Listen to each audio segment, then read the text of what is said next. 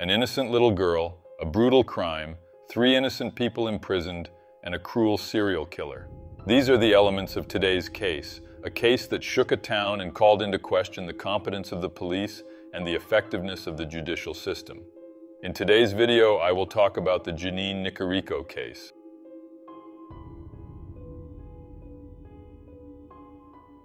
Jeanine Nicarico was born on July 7, 1972 in Naperville, a city located in the state of Illinois, United States. She was the daughter of Thomas and Patricia Nicarico and had two other sisters named Chris and Katie.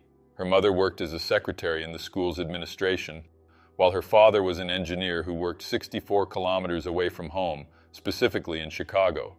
Those who knew little Jeanine said she was a charming girl with a captivating smile who loved going to school and reading books. She also adored animals, especially dogs and horses. On the morning of February 25, 1983, Jeanine woke up with a cold. She was 10 years old and in the fifth grade of elementary school. When her parents noticed that their daughter was feeling a bit ill, they decided it would be best to let her stay home to rest. At that time, and in that city, it was common for parents to leave their children alone at home. The area was considered very safe and quiet, as it had low crime rates. Jeanine's mother left an aspirin for her to take and went to work alongside her husband, while Jeanine's sisters went to school as usual. While at work, Patricia called her daughter three times in the morning to check on her. At lunchtime, she returned home to prepare food for her daughter. Upon arrival, Jeanine told her mother that a man from the gas company had come by to check the meter, and she had let him in. Patricia, a bit startled, admonished her daughter, saying that she should never let a stranger in. Patricia told her that if anyone knocked again, she should just call her, and she would come home immediately. After lunch, Patricia said goodbye to her daughter and returned to work. She later recounted that Jeanine hugged and kissed her while expressing her sadness about having to leave her alone. Patricia also reminded her daughter again not to let any strangers into the house, no matter how much they insisted. About two hours later, when Jeanine's sisters returned from school, they were shocked to find the front door of their home broken open. Upon entering the house, they searched for Jeanine, only to realize she wasn't there. They then went to a neighbor's house to ask for help. As soon as the girls told her what was happening, the neighbor called their mother, who returned home immediately. Inside the house, there was a glass of melted ice cream that Jeanine had left half-eaten and the beginning of a letter she was writing to her grandparents. The police were called, and at first they began working under the hypothesis of a botched robbery. Initially, a shoe print was found at the door, made at the time of the break-in, along with two more in the backyard. A sheet and a blanket were missing from one of the beds. Shortly after, the police began searches throughout the city but found no trace of the girl. Two days later, on February 27th, Jeanine's body was discovered in a park more than 1.8 miles from her home. She was dressed in a pink nightgown and had been discarded in a wooded area near a bike path. During the autopsy, it was determined that Jeanine had been the victim of rape and had then been severely beaten until she died. The crime and all the violence shocked the city of Naperville. The family of young Jeanine was devastated, and the community was enraged. An investigation led by local detective John Sam was quickly initiated. Shortly after, a reward of $10,000 was offered for anyone with information that could lead to the person responsible for the crime. After this reward was announced, the police received numerous anonymous calls pointing to supposed individuals involved in the crime. The police investigated all the names provided, but none led to anything concrete, and they were gradually dismissed one by one, until someone mentioned the name Alex Hernandez. At the time, Alex Hernandez was 21 years old and came from a very humble background. He lived on the streets of Aurora, a city just a few miles from Naperville. People who knew him described him as someone with limited intelligence and confused ideas. Alex had not completed his education and was unemployed. He had also been arrested for minor offenses, such as theft and disturbing the peace. Detective John Sam decided to track down Alex to ask him some questions about the crime. In his testimony, Alex claimed that a few days earlier, he had been drinking with other men when one of them admitted to being responsible for the crime that victimized Jeanine. Alex stated that at the time he was sitting in a car with three other men, one named Stephen, another named Ricky, and a third whose name he couldn't remember. Alex said it was Ricky who confessed to the crime. The police decided to verify this information, even though they believed it was merely a story fabricated by Alex. They then went after the men mentioned in his story. They searched for the supposed Ricky, but never found anyone matching the description given by Alex. Stephen and the other man, however, were located by the detectives. Stephen Buckley was a 23-year-old man, while the other man was 19-year-old Rolando Cruz. Both were also from the city of Aurora and were homeless. Stephen and Rolando claimed they knew nothing about the crime and had never drunk with Alex, as he had reported. They acknowledged knowing Alex but denied ever having met him, stating that he was not a friend of theirs. The detective then showed a photo of the type of boot whose imprint had been found on the door of Jeanine's house, which had been broken into. The detective asked if they knew anyone who wore that type of boot, and Stephen himself said he had a similar boot. At no point did Stephen show any signs of nervousness or any behavior indicating that he was hiding something. On the contrary, he answered all the detective's questions without any issues and even cooperated with the authorities by handing over his boots for forensic examination. In the initial analysis conducted on the boots, the police lab's identification specialist stated that they were not compatible with those from the crime. However, later on, the same specialist would reverse his statement and say that the boots could indeed be the same ones used in the crime. Since Stephen and Alex were the closest the police had come to the possible perpetrator, they decided to investigate both men more thoroughly to see what they could find. Both Stephen and Alex were called in for questioning several times, but even so, the police could not extract any relevant information for the case. It was then that the detectives came up with a strategy to set a kind of trap for Alex in an attempt to get him to talk. The police placed Alex in a room with another man who pretended to be the one responsible for Jeanine's crime. Before this, the detectives told Alex that if he could get that man to confess to the crime, he would receive the $10,000 reward. The police hoped that this would lead Alex to divulge information indicating that he could be responsible for the crime. The entire conversation between Alex and the man pretending to be the criminal was monitored from outside the room by other officers. At one point in the conversation, Alex ended up boasting about having been at the crime scene. He stated that other men had participated in the crime and that his role was to hold the girl so she wouldn't escape. Shortly after this statement, Alex Hernandez was arrested. However, one of the detectives had the impression that Alex was just making up stories to persuade the other man and earn the reward. The detective then drove with the young man through the neighborhood where Jeanine's house was located. He believed that if Alex had truly participated in the crime, he would be able to easily identify either the victim's house or the crime scene. However, Alex was unable to accurately identify either location. According to the detective, Alex pointed to several houses claiming they were Jeanine's house, but he did not get it right even once. With this, the detective became convinced that Alex had no connection to the crime and decided to turn his attention to Stephen. The police interrogated Stephen for over six hours, hoping to extract any information indicating that he was responsible for the crime. However, Stephen maintained his initial version throughout, leading the detectives to also believe that he was not responsible for the crime. At one point during the interrogation, the man allegedly said that they could arrest him or even take his life, but he would never confess to a crime he did not commit. The police also pursued Rolando Cruz and offered him the $10,000 reward for any information that could help solve the case. Rolando claimed to have some information, and, like Stephen and Alex, he was also taken in for questioning, but the information he had was not relevant.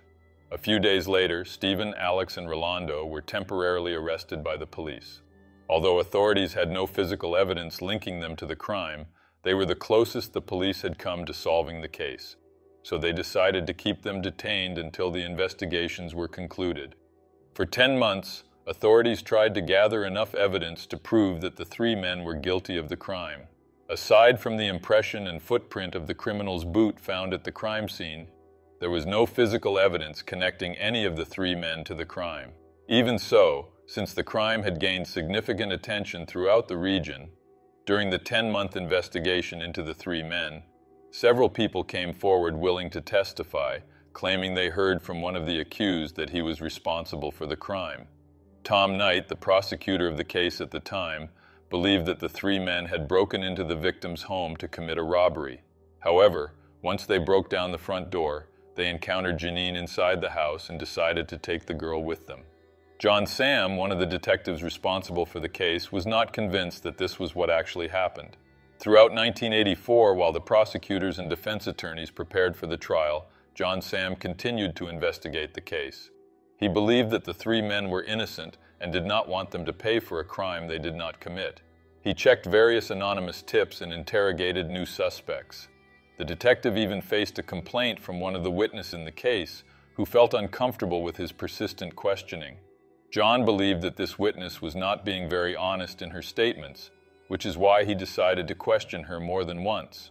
By doing so, she felt bothered and reported him to the police department. For the detective, there were no reasons for those three men to have committed the crime. He said he could not imagine three men capturing and forcing a girl to have relations randomly without any of them being bothered by it. Moreover, the detective emphasized that none of the three were willing to provide evidence against the others, even knowing that it would spare them from the death penalty. In most cases like this, accomplices usually turn on each other to avoid a harsher conviction. But it was not only this that convinced John of the innocence of the three accused. He also pointed out the flaws in the prosecutor's work as one of the reasons. According to him, Tom Knight was a great prosecutor, but he allowed himself to be overly guided by emotions. He would understandably be affected by the brutal crime against a little girl, but this led him to seek out culprits at all costs even if it meant imprisoning the innocent. Shortly before the trial, John Sam resigned from his position at the police department and focused solely on assisting with the case. He even offered to be a defense witness. Since none of the young men in custody could afford a lawyer, public defenders were assigned to represent them. One of these lawyers, Tim Gabrielson, stated that he entered the case believing they were truly guilty and that he would try to negotiate a plea deal with the prosecution. However, after reading through all the case files, it became clear to him that the prosecution had little evidence for the charges. Tim recalls waiting for some explosive proof that would demonstrate the young men's guilt, but that evidence never materialized. For him, there was no doubt that the prosecution had failed to prove the case and was merely seeking to convict someone.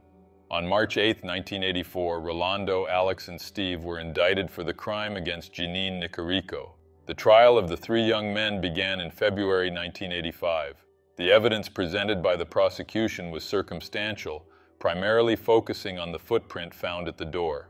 During the trial, an anthropologist from the University of North Carolina was called as an expert witness to prove that the footprint truly belonged to one of the accused. According to the prosecution, Rolando had a kind of vision that he shared with the detectives, which closely resembled how the crime actually occurred. However, this alleged statement was not documented by the detectives until the trial, raising suspicions about its validity. One of the responsible detectives stated that he did not record it earlier because the prosecutor told him it was unnecessary.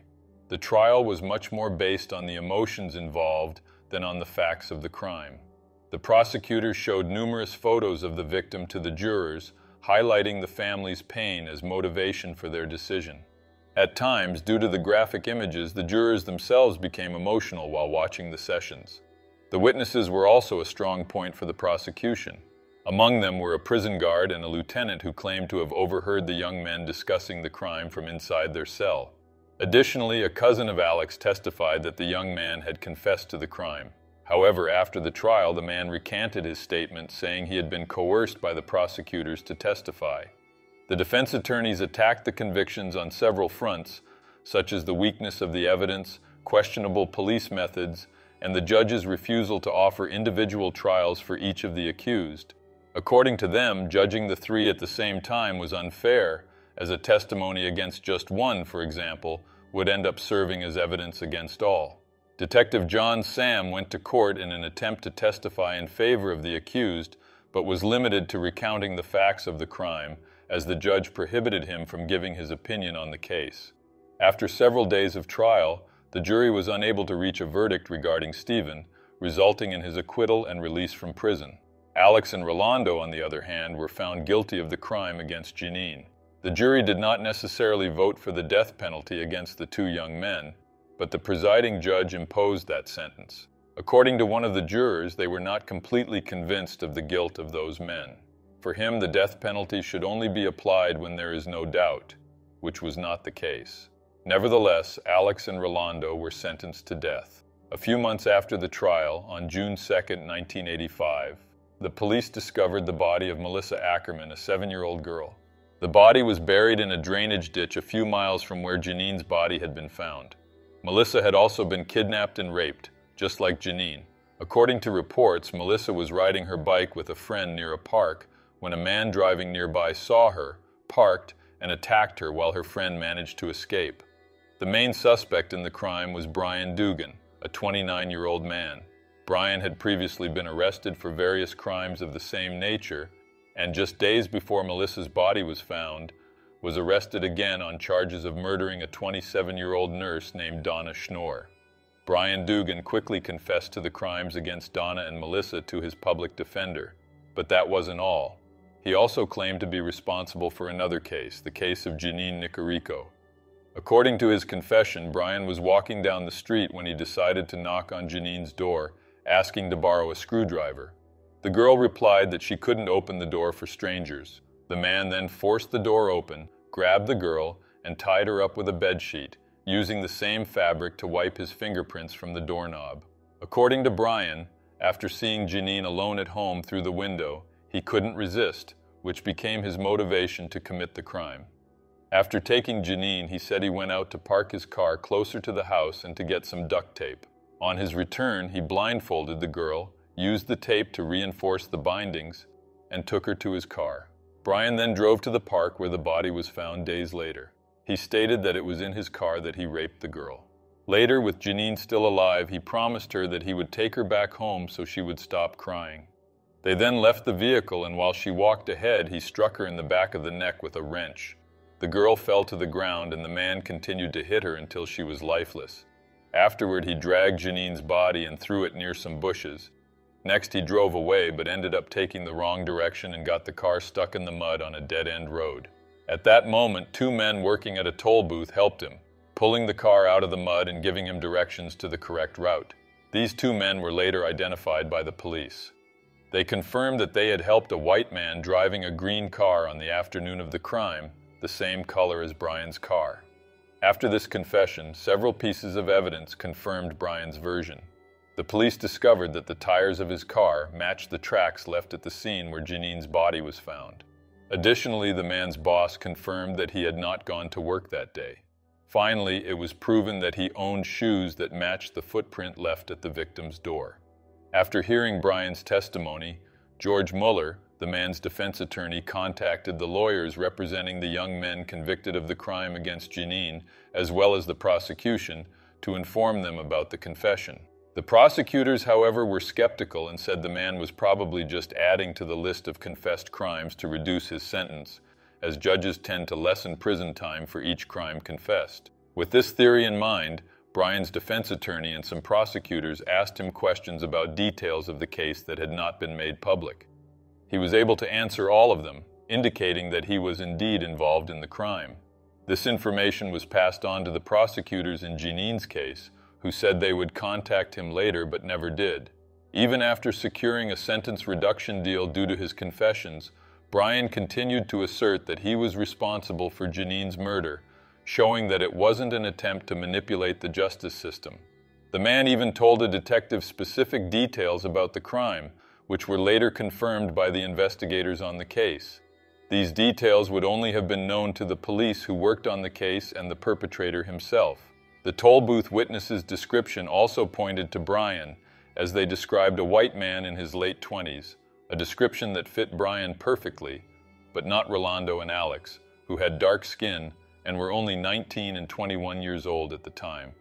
Brian easily guided the detectives to the victim's house and the location where her body was found.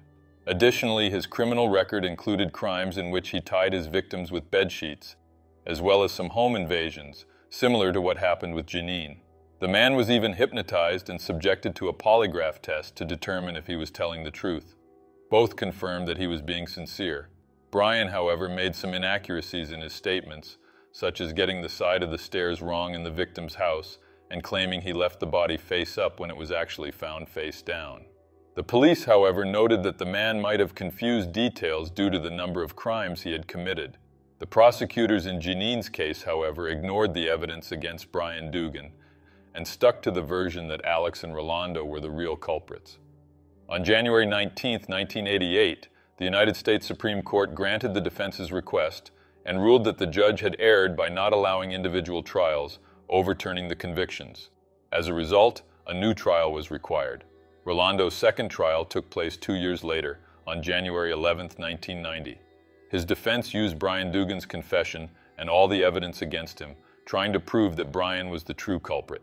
The prosecution, on the other hand, argued that even if Brian was responsible, Rolando and Alex were his accomplices and had participated in the crime. In court, it was said that Rolando's cousin had seen him with Brian, but she denied this information when called to testify. Without direct testimony from Brian, the defense turned to the state police commander who had led the investigation into Brian. The plan was for him to recount Brian's confession in detail, but the prosecution objected, and the judge agreed, preventing the jury from hearing this information. According to the prosecution, the footprints found outside Jeanine's house proved that not just one, but several people were involved in the crime. However, forensic experts later confirmed that these extra footprints belonged to a woman, possibly random people who had passed by the scene. On February 1, 1990, Rolando was once again found guilty of the crime and sentenced to death. Alex's second trial in 1990 ended in a hung jury. A third trial was held, and in May 1991 he was again found guilty of the crime and sentenced to 80 years in prison. After these new convictions, further evidence emerged in the case. Scientific analysis of hair samples taken from the blindfold on Jeanine's eyes showed a high compatibility with Brian's hair, while no similarities were found with Alex's or Rolando's hair. In addition, DNA tests from blood samples of Brian, Rolando, Alex, and Stephen were released. The results were negative for Alex and Stephen, inconclusive for Rolando, and a positive match for Brian. In 1994, with improved technology, new DNA tests were conducted, definitively excluding Alex and Rolando from the crime. The new tests identified male fluid samples at the crime scene, and the results pointed to Brian Dugan. As the evidence emerged, the defense for the two men filed new appeals requesting a review of the case. In May 1993, the Supreme Court agreed to review Rolando's case and scheduled a new trial for him. On January 30, 1995, the Illinois State Court of Appeals, considering the DNA tests, overturned Alex's conviction, exonerating him and releasing him from prison. That same year, Rolando had his third trial and was acquitted after a police lieutenant testified, presenting genetic tests that cleared the young men. Patricia Nicarico, Jeanine's mother, became very emotional in her interviews about the case, alternating between smiles and tears as she recalled moments with her daughter. She mentioned that everything seemed terrifying, and it was hard for her to believe her daughter was really gone. The case not only shocked the public but also attracted significant attention as such violent crimes were rare in that region. The fact that many working mothers left their children home alone raised concerns and fears about the issue. Both Jeanine's family and the townspeople criticized the investigations and trials, which proved to be lengthy. Margaret Price, the mayor of Naperville at the time, expressed that everyone longed for the case to be resolved and did not foresee how long it would take, considering the devastating delay. Former Detective John Sam reported that he was considered a traitor by many people for siding with the accused. He explained that by claiming these men were innocent, he was treated as though he was fighting to let the crime go unpunished. To Jeanine's family, Brian was lying about his guilt. In April 1987, the girl's parents held a press conference contesting Brian's account and reaffirming their belief that Alex and Rolando were responsible for the crime. They cited several inconsistencies in Brian's statements, and expressed the conviction that someone had provided him with information to falsely take responsibility. By 1996, given the case's trajectory, the state indicted seven police officers, three prosecutors, and four detectives, accusing them of lying and fabricating evidence against Rolando. According to the prosecution, the officials had conspired to convict him despite being aware of the defense's evidence.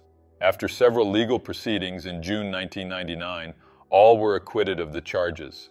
Meanwhile, Alex, Rolando, and Stephen filed a civil lawsuit for wrongful accusation against the police and prosecution. They received a $3.5 million settlement in September 2000. In 2002, then Governor George Ryan granted a public pardon to Rolando, and in 2003 he imposed a moratorium on execution in the state, resulting in the release of 167 people from death row. In 2005, Brian Dugan was indicted for the crimes against Jeanine. His trial took place in 2009, where he pleaded guilty, confirming his earlier confession. At that time, he was already serving life sentences for two other convictions. On November 11, 2009, after about 10 hours of deliberations over two days, the jury sentenced Brian Dugan to death for the crime against Jeanine committed 26 years earlier. However, the sentence was commuted to life in prison after Illinois passed a law in 2011 abolishing the death penalty. Following the new evidence, Patricia, Jeanine's mother, began to speak less about the case. Before Brian's trial, she expressed hope that she might finally get some truth and justice for her daughter. In 2010, Jeanine Nicarico's name was given to a children's center in DuPage in her honor.